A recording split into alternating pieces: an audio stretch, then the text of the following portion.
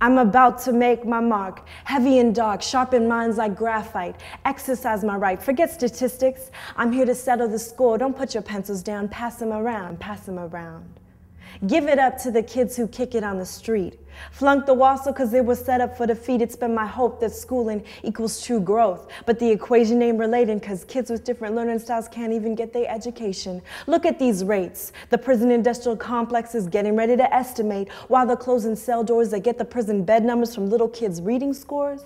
Most folks locked up are illiterate because knowledge is a resource. Peep the discourse. We need leaders at the head of the class. Need homework on freedom. Can I get a hall pass? The most dynamic lessons come from real world implementing outside the classroom and the boxes we've been trapped in. Because I'm about to make my mark, heavy and dark, sharpen minds like graphite, exercise my right, forget statistics. I'm here to settle the score. Don't put your pencils down, pass them around, pass them around.